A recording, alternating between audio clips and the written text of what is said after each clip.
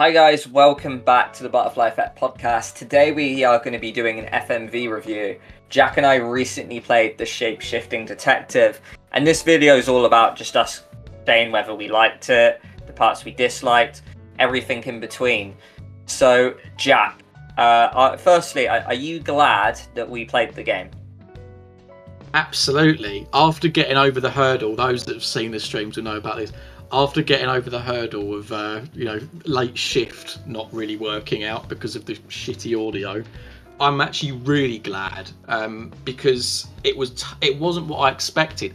I thought that this was going to be a classic movie. You sort of hour and a half, two hours. You make some choices. You do a bit of shape shifting. You do a bit of detecting. You solve a mystery.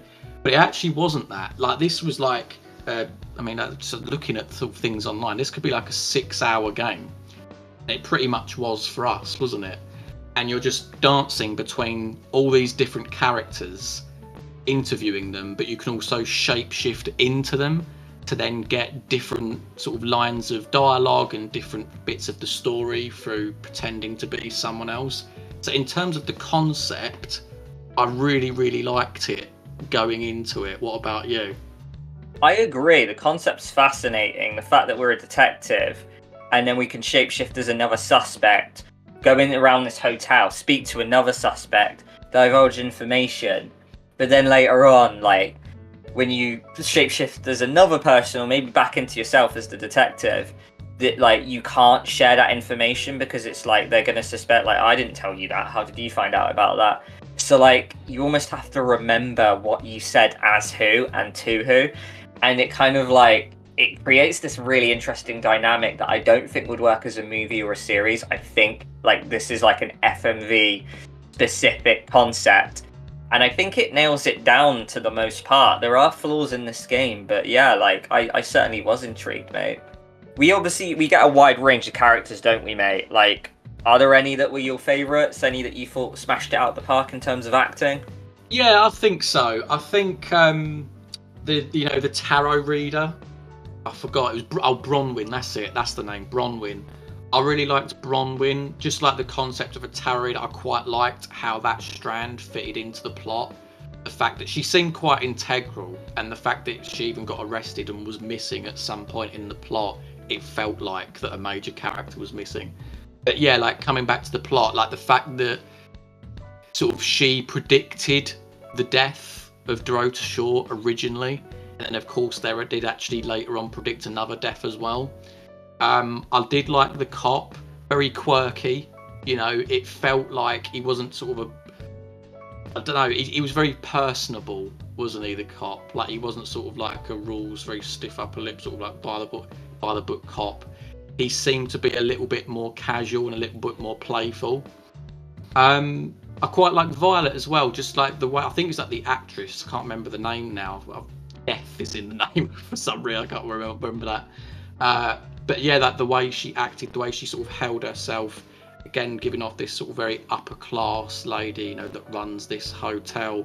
But again, actually, as the game goes on and you start to see the vulnerabilities of Violet, um, like with like the sort of the mental health stuff, the relationships, with the certain characters like the cop, for example, and Zach in particular, you start to see like different dynamics of Violet, and I thought that actually the actress put it across really well, mate. But what about you?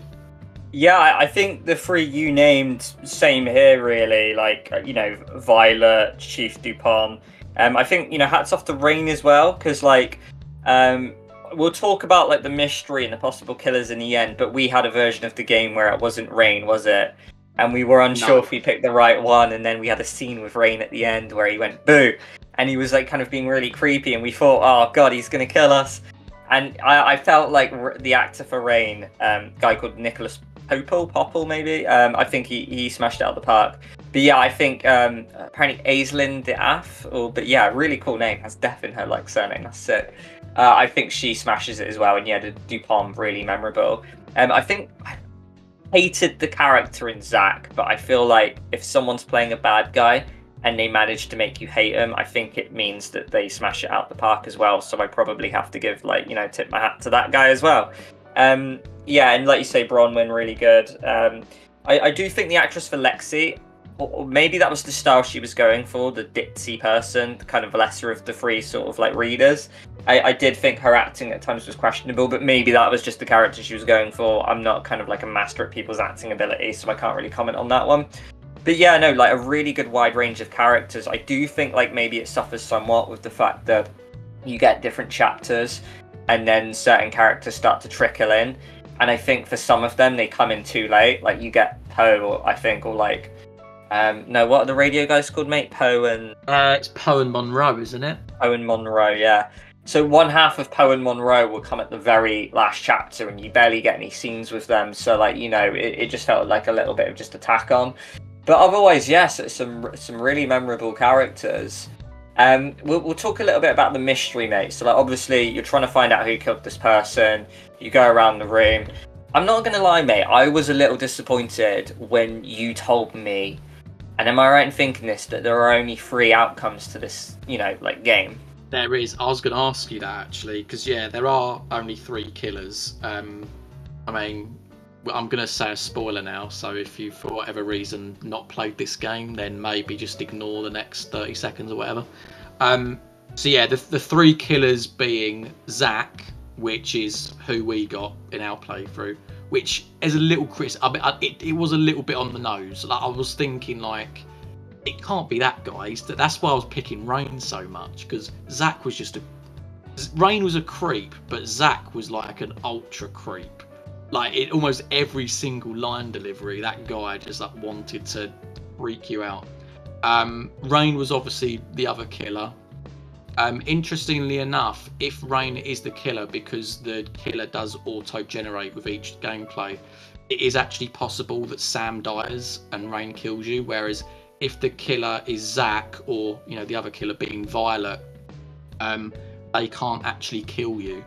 Um, what happens is if you've not seen this, you shapeshift into someone they recognise. So I think for Violet, you just shapeshift into Zach, and can't remember. She is it, it was the same for Zach as well. I think you become Violet or you become Zach, like so he sees himself and uh, then they ultimately just like either fall on the floor, like pass out, or like one of them can die as well. So, yeah, only three killers. And I've got to admit, I do share your sentiment because I thought that there was more than three. So I was even at one point, I was like thinking about Chief Dupont because we had that whole strand, didn't we, with like him and Violet hiding a dead body. And I was like, oh, like could you know, could it be the chief? You know, could it be the cop? No, for sure. And to be honest, I, I really want to see the other gameplays we, you know, you can get where Violet or Rain is the killer because we had the version with Zach. And don't, I, don't get me wrong, I, I feel really rewarded that we got it right. One criticism I would have though is that in our version, when it was Zach, I wanted like someone to say something that made me have to think and really dig and feel really rewarded for getting it. But I never really suspected Zach, and then there's a point where we shapeshifted into Violet, and we just randomly said, "Oh, I followed you to the victim's house," and then he didn't deny it, and it almost felt like it negated all the other points and clues because it was almost just spelled out to us, like in one scene, in one bit of dialogue. And I don't know, I just feel like I would have liked to have got it with a more rewarding way where I deducted a clue where like the only other thing I could really say is that maybe the amethyst was on like the girl's neck. I don't know if that is actually intended. I was looking out for this gold coin or this like velvet pouch or whatever, but there wasn't really any of that. It just was very much like a random accusation and then him not denying it. I don't know if you share that sentiment as well, lad. I get your point, and another thing as well. I think because Zach was a character that was introduced later, um, that sort of had less of an impact on me. I'd have perhaps preferred it if it was Violet or Rain. Um, just because we we said this during the stream, didn't we? We said that there was like several, you know, red herrings. You could say you had the storyline with like the tarot readers and the you had the traveler angle, and the fact that though know they can come back through time and inhibit someone's body and we was talking about it, and even people in the stream were suggesting, oh, maybe someone become possessed, you know, and you know that is partly what I think happens with Rain because if Rain is the killer, he's like possessed by somebody else, some like Russian, or there was something that was alluded to like slightly earlier in the game.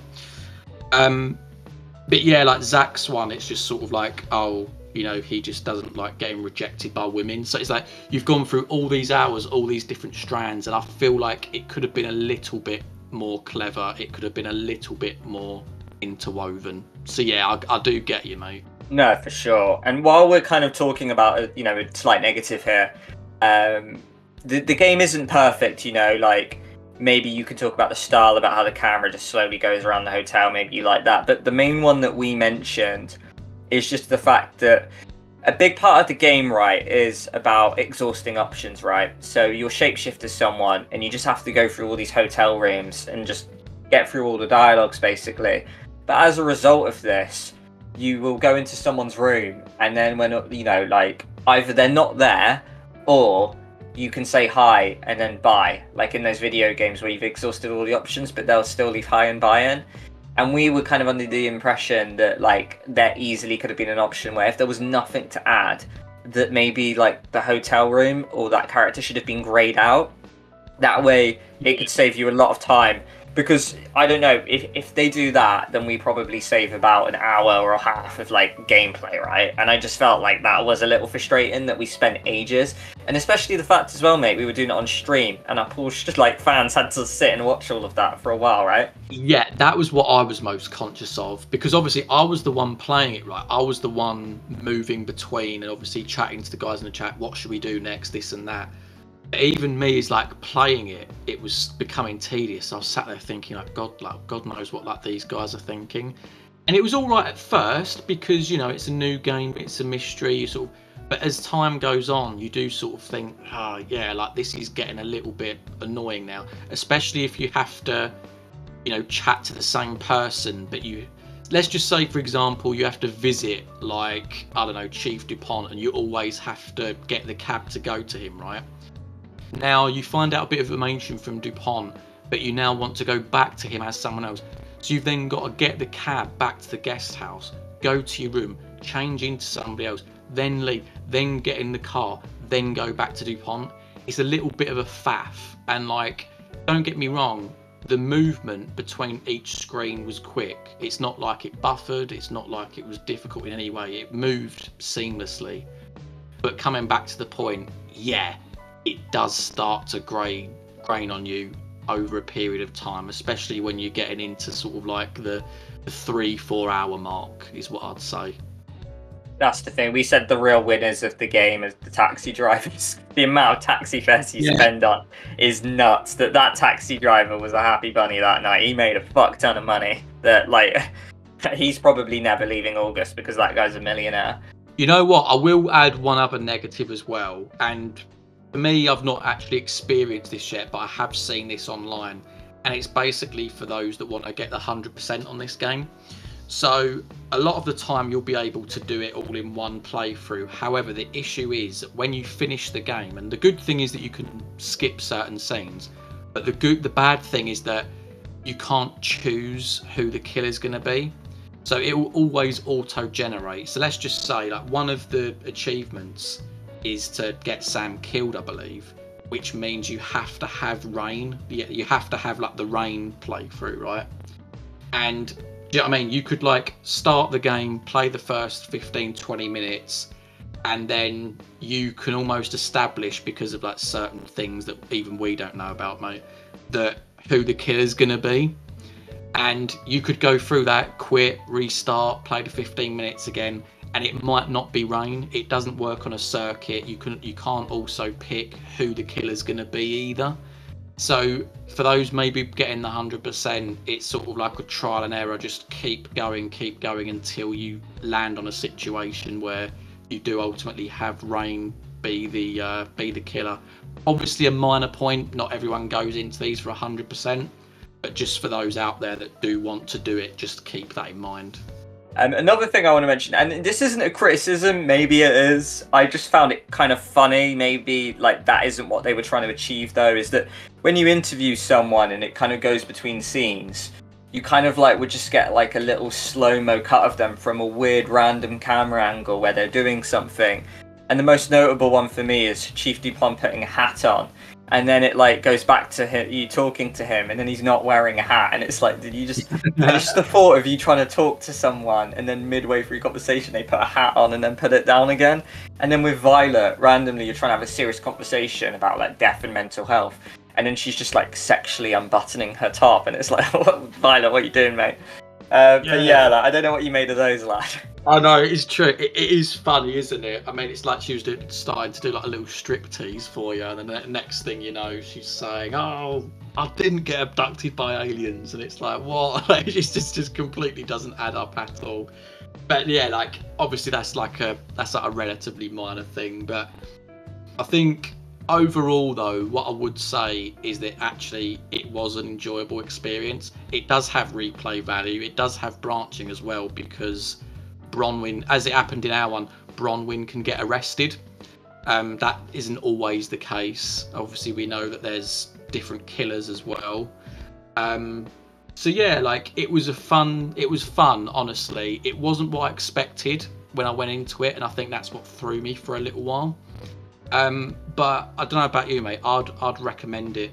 You know, if you got like a spare tenner or whatever, and you want to sort of play like an FMV game, something a bit different where you make choices and you've got a mystery to solve. Yeah, I'd recommend the shape shifting detective 100%. Yeah, I would as well, because FMV really isn't our wheelhouse. We're kind of new to it. The only other kind of real experience we have from it is Erica. And although Erica probably has like the more mainstay actors in it, and I don't know, maybe like a bigger budget and stuff, and it's more cinematic, I I do think I actually prefer the shapeshifting detective. I know they're very different. Erica kind of is more of a story you get from A to B. This one, but like the concept is just an absolute slam dunk for me. And like you say, there's replay value in this one when there probably isn't with Erica to an extent. There are like a few different endings there.